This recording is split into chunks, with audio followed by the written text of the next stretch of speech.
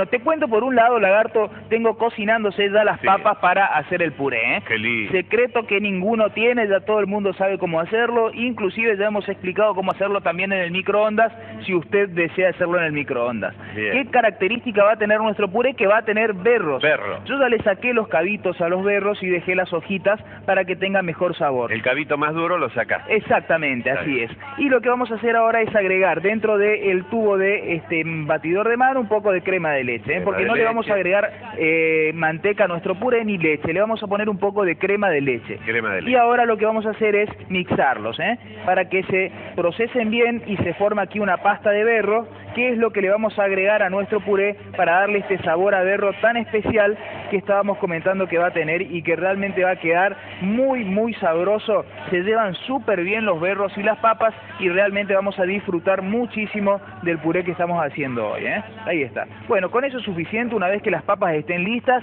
las pisamos y le agregamos esta pasta de berro y crema que acabamos de hacer. Bien. Por supuesto que sal pimentando siempre a gusto, como usted mejor prefiera. ¿eh? Por otro lado, tenemos que comenzar a cocinar nuestras mollejas. Claro. Habíamos ya, las habíamos pasado por harina. Recuerda, harina. en el paso anterior las pasamos por harina y las tenemos acá preparaditas. Entonces, lo que vamos a hacer ahora es con un poco de aceite de oliva sobre una sartén, puede ser también aceite común o inclusive puede utilizar si usted prefiere un poco de manteca. ¿eh?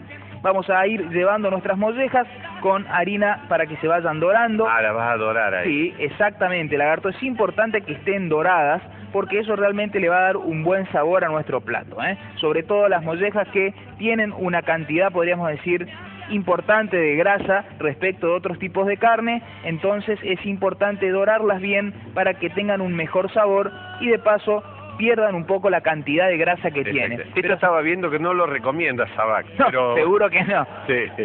Seguro que no. Pero, pero bueno, en lugar de poner unas mollejitas en el asado del domingo, podemos ponerlas, por ejemplo, en el plato cocinándolas de esta manera. ¿eh? Entonces, acá se están dorando ellas y lo que tenemos que hacer es seguir con el próximo paso. Fíjate cómo va a ir quedando eh, harina en la sartén. Y Claro, en el justamente, fondo. Claro, exacto, lagarto. También se va a ir cocinando esa harina, va a tener un, un sabor tostado particular y eso es justamente una de las cosas que nosotros buscamos, ¿eh? porque con eso se va a formar una salsita que va a darle un sabor muy especial a estas mollejas. ¿eh? Le vamos a agregar ahora un poco de puerros que yo ya los tengo cortaditos. Ahí está. Bien.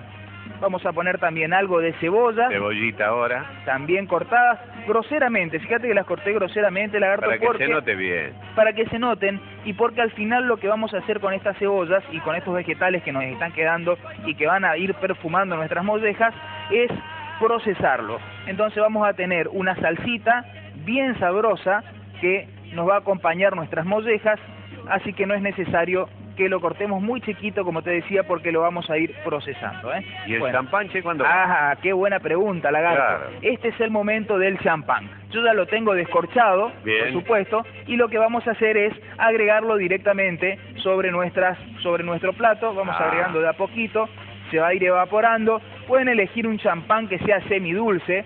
El sabor dulce le va muy bien a las mollejas, pero si son un poco reacios al sabor dulce Sí, en casa, Sí, no directamente seleccionamos un brut. Un que el brut, es el, seco. el seco, exactamente el conocido como seco, que tiene un muy bajo contenido de azúcar y que prácticamente es imperceptible. ¿eh?